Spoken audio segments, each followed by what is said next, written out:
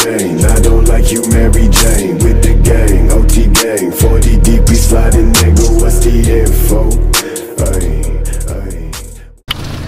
All right, good afternoon, YouTube. It is 4:14 p.m.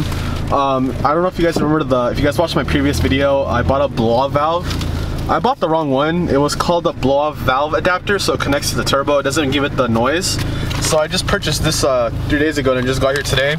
So I'm gonna head over to Gus's house to install it, and this gives it the spool and the noise and all that that I've been wanting on this car.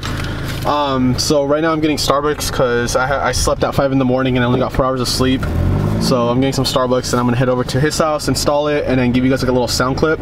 So this video is gonna be short because I'm trying to keep, like I said, consistent, consistent uh, videos for you guys. So right now I'm gonna go ahead and head over there.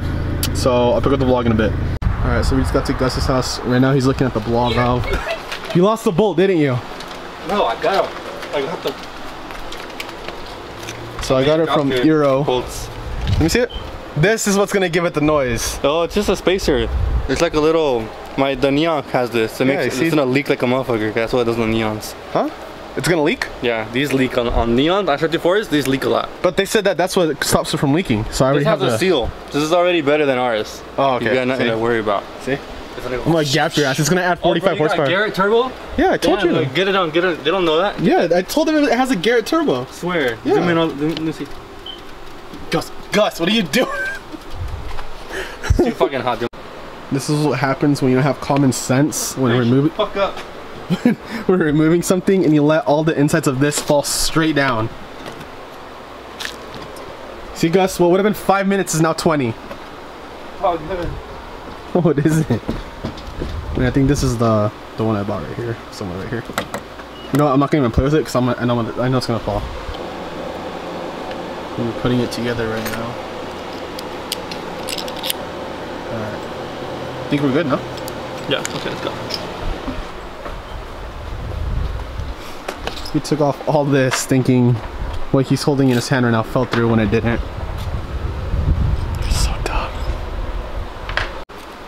All right, this is uh, SRT Bacon, and we just installed his his blow valve with a diverter. Car still on jacks, in there chilling out real quick and see if it does anything.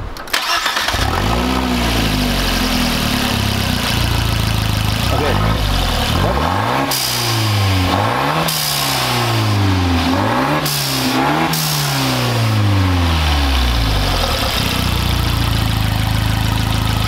Okay, you're good. I'm taking it. I'm taking it to the inside, inside view.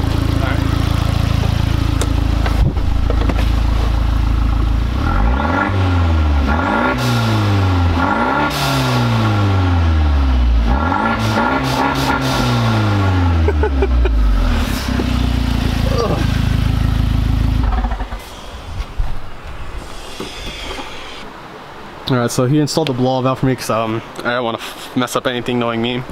So next up, I think he said I could change this, but this one's gonna be a pain in the ass to remove because we have to go through there, and that should give it a better like spool or whatever. I forgot how this goes.